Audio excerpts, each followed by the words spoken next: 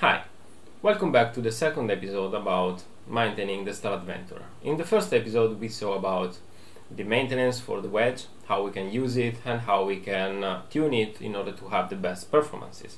It is now time to work about uh, the unit itself, the Star Adventurer itself. Now, um, this is a great mount, but sometimes, as everything, uh, you need to service it and sometimes because this is still low-end equipment you need to sometimes time to tune it to tune up the mount to improve the performances. In particular there is a known problem on the Star Adventurer that is somehow stiff rotation so the payload doesn't spin freely. It usually is not a problem when tracking it may be more a problem when you want to balance your gear. We will see that in another video but just want to mention this. And um, anyway if you need to regrease or you need to fix uh, this stiff rotation um, you need to disassemble the mount. And so this video is about disassembling the Star Adventurer in order to arrive to look inside and to have the clutch assembly in our hand. Also this allows us to see how to regrease the mount and also to uh, understand how the clutch works. This clutch is somehow uh, conundrum for the beginnings. They don't. They are often unsure what to do. The short answer is to yes. If you need to track, you have to screw this knob, the clutch knob, all the way. And if you do not need to track and you want to manual move your payload, then you need to unscrew this uh, knob. So, what do you need in order to disassemble the Star Adventurer? You do not need much all it strictly require is a number 3 hexagonal key, a number 2 hexagonal key. It's handy to have a flat head screwdriver and if you are about to regreasing then this is a great grease. It is a super lube and is a multi-purpose synthetic grease. It is work from minus 45 Fahrenheit to 450 Fahrenheit. It's quite thick so I use it and uh, I found no problem at all um, with the Star Adventurer.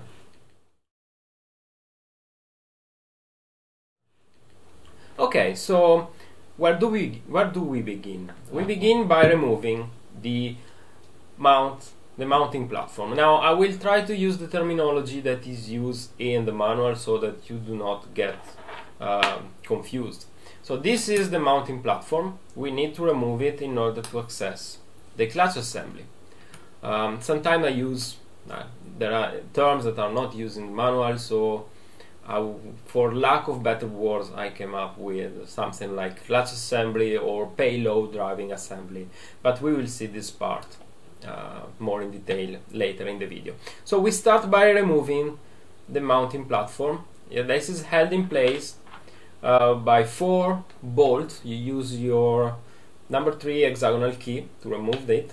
And uh, what is where this mount mounting platform is bolted on is on the clutch assembly which in its turn is bolted on the uh, polar scope. And that is why when you rotate the payload the polar scope is also rotating. So all these parts they are um, connected together and then, of course, there is uh, something that must be connected to the motor, and we will see that in, in a minute.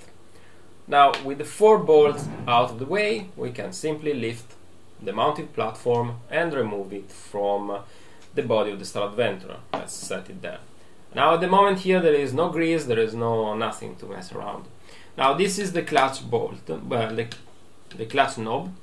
That's the top of what I call um, the payload driving assembly. This is the piece where the mounting platform is directly connected on and below there you have uh, four screw um, that connect the payload driving assembly to the polar scope. Now the payload driving assembly together with the clutch knob and the ring gear that is inside the mount is part of the clutch assembly. Now the next step is to remove the clutch assembly itself. Now, as I said, the clutch if the clutch is disengaged you can rotate the payload um, mounting assembly and that's rotate also the polar scope so when you are trying to remove these bolts down there that are connected to the polar scope everything is start rotating together so just screw in screw back in two of the bolts that were retaining the mounting platform like so so that then you can use the number 3 hexagonal key to stop the polar scope from rotating while you use the hexagonal key number 2 to remove the bolts there. So let's see how we can what how we can do that. So we use the key number 3 to stop the, eh, the rotation and then we are going to unscrew this bolt here. So some people like to remove the knob before but for this for the purpose of this video I will remove that later so that I can show you how can I slide off from the body of the Star Adventurer the whole clutch assembly. Now what you see here down here that is the worm gear so this will turn forever and uh, is connected via a gearbox to the motor.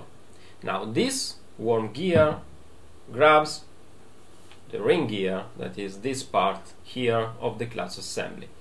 This teeth goes in contact with the worm gear and actually cap couple the ring gear to the motor.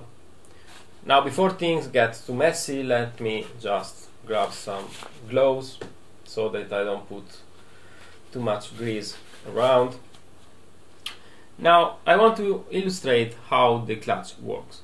If I grab and hold the ring gear and the clutch is released, then I can still spin my payload.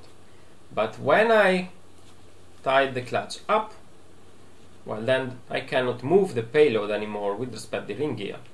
So the clutch is engaged and now I can track. How does it work? How did I engage the clutch? How did I couple the payload to the ring gear? The answer is simply friction. So basically this clutch assembly is made by the knob that now I'm going to remove and this knob is screwed on the top of the payload driving assembly. Now here there is so there are some uh, uh, there are two um, metal flat ring metal rings and that is because you have here a bearings ring this allows the clutch knob to rotate over the ring gear without too much effort, without wearing out parts. Now with this out of the way, I show you how the, the payload driving assembly is housed inside the ring gear. And to remove it, just push it and slide it out, like so. Now be careful, when you remove the ring gear from the payload driving assembly, you can see here a friction material that is sitting between the two. So when the clutch is engaged, you are tightening the, the knob, the clutch knob, which in turn is pushing firmly the uh, ring gear down onto this friction material. And uh, the friction that you have, that this material creates between the payload, um, driving assembly, and the ring gear is what allows the, the motor to turn the payload. So you don't want to have any grease on this friction material because otherwise well, you will reduce the capability of the motor to drive the payload because you will reduce the friction. If you are here to regrease, the parts you need to regrease are this outer rim and then on the ring gear the inner rim not this part because this is where the friction material is there. You can see that there are some some residue of friction material on this part. So you want to grease the inner rim and then you want to grease of course the teeth. Uh, you want to grease the bearing rings. You want to grease this part, the worm gear and the ring gear. So now I have manipulated this mount quite a lot. So maybe it's time to give it a bit of, uh, to add a bit of grease to the part. So the first thing I do is to remove the friction material then I take my grease and I work my way around this hedge. Something like so. And then I spread it evenly. Like so. So that I have good grease in between the metal-metal contact of these two parts. Let's put back the friction material. Be careful that you don't have grease on the on the surface of contact. So we put that down so, and then we take we turn the ring gear and we take a bit of grease and we put it on this part and we put it here.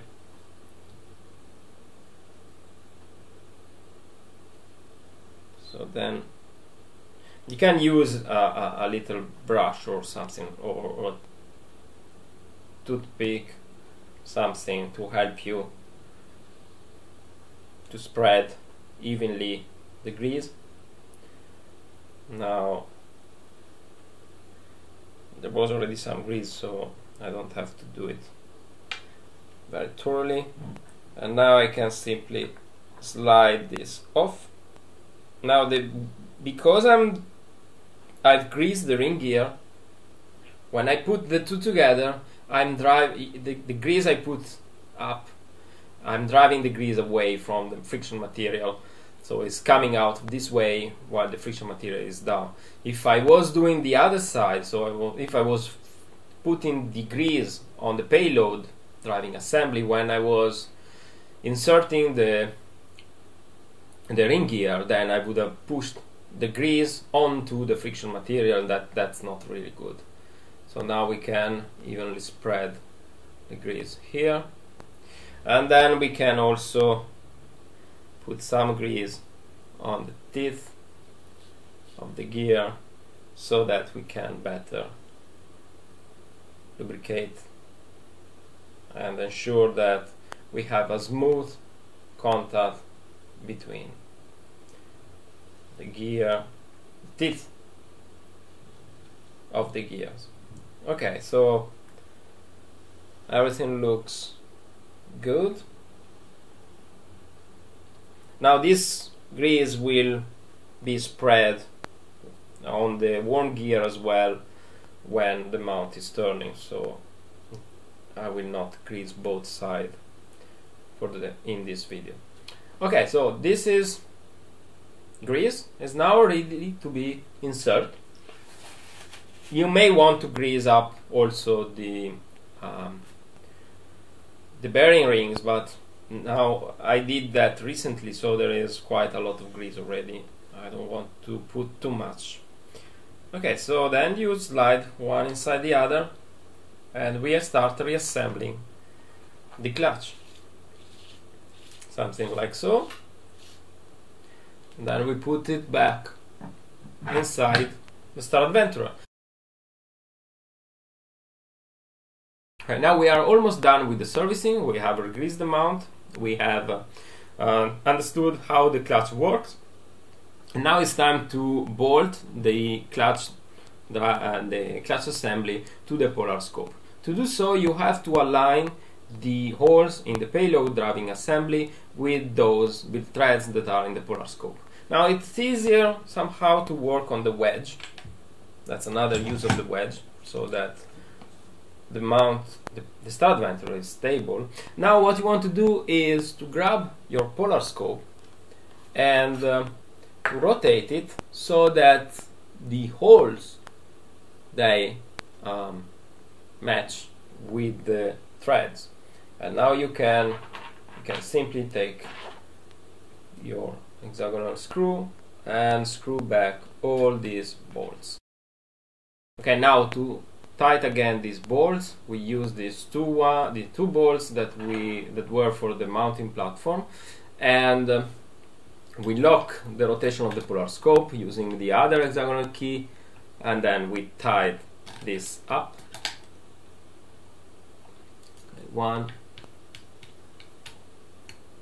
two and so this key here is preventing everything. The whole assembly to rotate.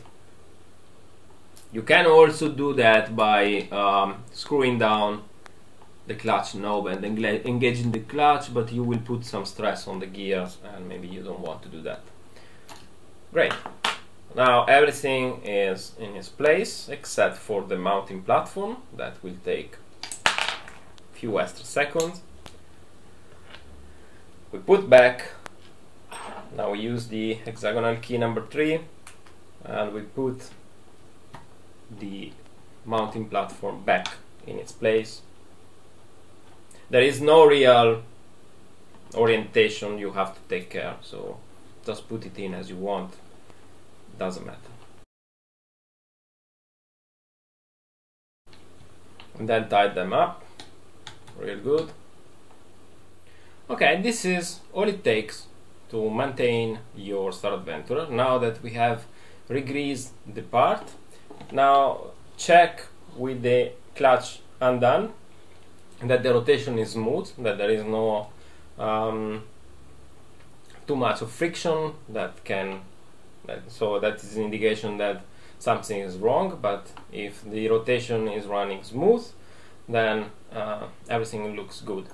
You want to spread the grease that we put on the ring gear over the worm gear, so I suggest you, even if you are at home, put in some battery and let the Star Adventurer rotate at 12 times the sidereal tracking speed so that the ring gear and the worm gear they are turning together and the grease gets better distributed.